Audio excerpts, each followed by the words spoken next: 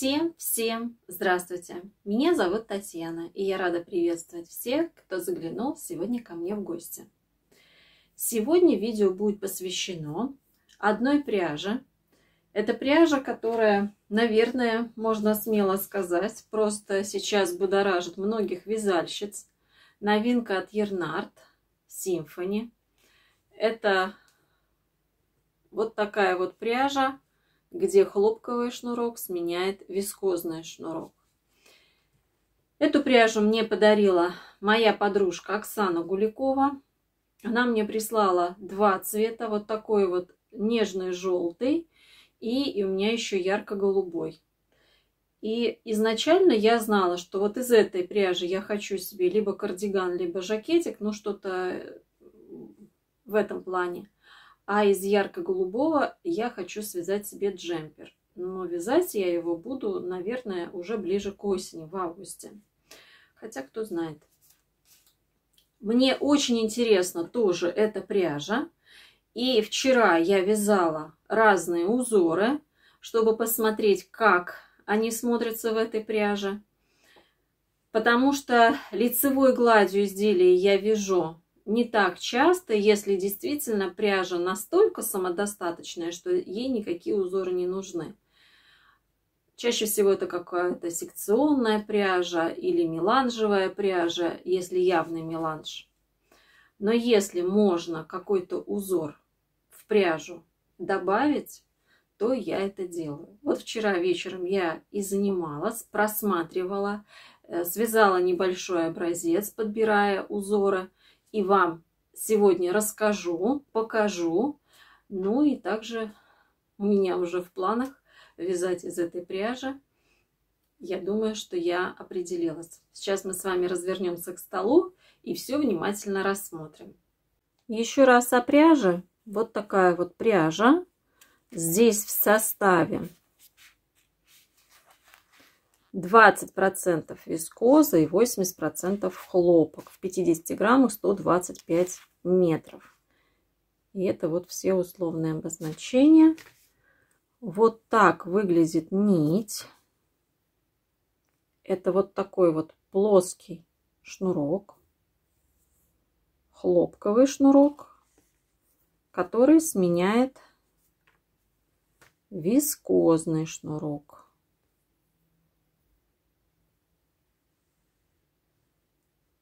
Вискозная ниточка потоньше. И, знаете, разные мнения встречаются, но, как говорится, нужно пробовать все самому и решать, что нравится, что не нравится, что подходит, что не подходит. Потому что, вы знаете, связав образец, я еще раз убедилась, что мы абсолютно все разные. Кому-то нравится одно, кому-то нравится другое. Спицы я взяла четверку, потому что я слышала, что рекомендуют связать на четверке. Но изначально я посмотрела, во-первых, да, так как здесь э, хлопок с вискозой, соответственно, ну о какой резинке может тут быть и речь, то есть нужно выбрать какой-то низ, да, если это будет, э, все равно какая-то планка у изделия будет. Значит, я повязала немножко платочной вязкой, а вот здесь вот я связала путанкой. Также повязала немножко лицевой гладью, чтобы посмотреть, как в лицевой глади смотрится. Ну, в лицевой глади это будут, э, да, то есть вот такие вот появляться вискозные дорожки. Ну а дальше я взяла узор, который я недавно увидела, мне он понравился и решила посмотреть, да, то есть вот изнаночная гладь, как в изнаночной глади, причем мне кажется, что в изнаночной глади очень даже хорошо смотрится. И здесь вот такие вот веточки. Почему-то мне на этой пряже не хотелось и не хочется вязать ажур. Я не знаю почему, э, хотя я смотрела, говорю, возможно, можно взять такой, знаете, есть ненавязчивый, не очень дырявый ажур. Э, мне ничего такого не приглянулось, чтобы, знаете, вот как говорится, зацепило. Мне такого не было. Поэтому мне хотелось либо теневой узор, пока я тоже не увидела. А, ну, лицевой гладью мы всегда успеем, да, и вот посмотреть, как вяжется в изнаночной глади. Причем в своих изделиях я очень редко, мне кажется, использую изнаночную гладь в основе полотна. Очень редко. Я помню, как-то моя коллега пришла в свитере. Он был связан машинной вязки. Это была ленточная пряжа меланжевого эффекта, бело-серого связанный регланом сверху, очень просто, с дырочками. Но все, я помню, обращали внимание на ее джемпер и говорили, надо же, такой простой, а так хорошо смотрится. Был он связан изнаночной гладью. Я же тогда тоже обратила внимание. Я вообще обращаю всегда внимание на вязаные вещи, будь то даже это, если это просто повязочка. Я, э, как правило, сразу же вижу, если это ручная работа или не ручная работа. Вот, какую я цель преследовала, когда попробовала эту пряжу? Те, кто смотрит меня давно, знают, что образцов я не вяжу. Или вяжу их на такие маленькие-маленькие, чтобы просто посмотреть, как пряжа ложится, и, или подобрать спицы, то есть инструмент, то есть каким инструментом вязать.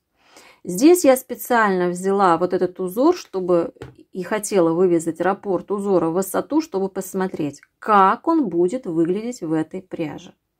Также мне было важно понять, в узоре, если это будет узор, будет ли какая-либо косина у пряжи.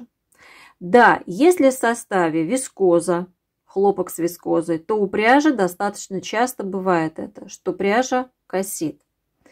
Но я с этим встречалась, например, только у Семеновской Ирины, когда вязала крючком по кругу. И тогда я вязала уже обратно поворотными рядами, при этом не косила пряжа. А так, пряжу, которую я использовала, у меня таких проблем не было.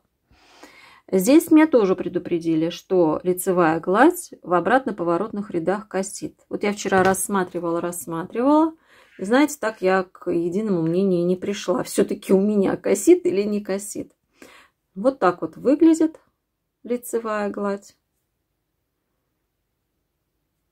Мне кажется, не знаю, мне кажется, что не косит. И мне важно было посмотреть еще вот э, на путанку, да, вот этот мелкий рис. И, скорее всего, именно его я буду использовать э, в качестве планки не платочную вязку. Хотя в платочной вязке тоже очень интересно, когда вот в этой вот дорожке, да, вот это появляется такой вот эффект вискозный. Значит, вискоза, посмотрите, да, то есть иногда петельки будут толще. Когда переход идет от хлопка к вискозе, он немножко такой уплотненный. Но э, я не могу сказать, что петли кривые, косые, лямые. То есть, в принципе, очень даже хорошо вывязывается. И я все-таки на сто процентов уверена уже теперь, что все-таки я буду использовать в этом полотне узор. Может быть этот. Еще у меня есть вариант. Я нашла бабочки.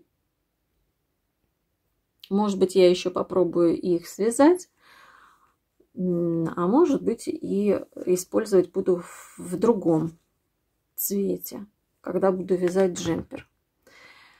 Поэтому, друзья, да, то есть еще что хочу сказать. Вот посмотрите, очень полотно пружинистое. То есть хорошо тянется.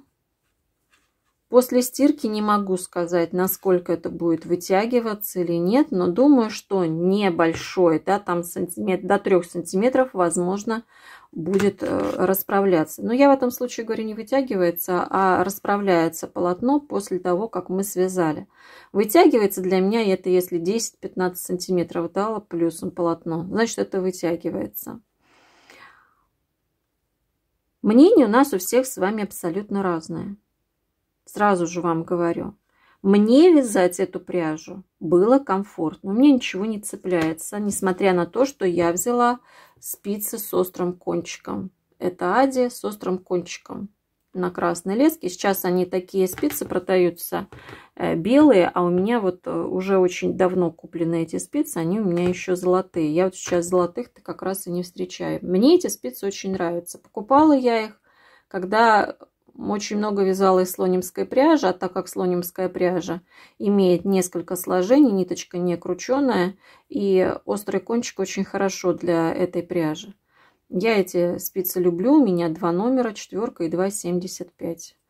И, на, и 2,75 это вообще у меня очень много, я на них вязала. Вот у меня острый кончик. Я вязала, то есть и вискозный шнурок, вот и хлопковый, вяжется быстро, легко. Но это, опять же, это мое мнение. То есть, если кому-то, э, может быть, кто-то услышите, что эта пряжа цепляется, вывязывается плохо. Вот я вам показываю, говорю свое мнение. Но опять же, да, каждый человек, он может послушать 10 мнений и сложить свое.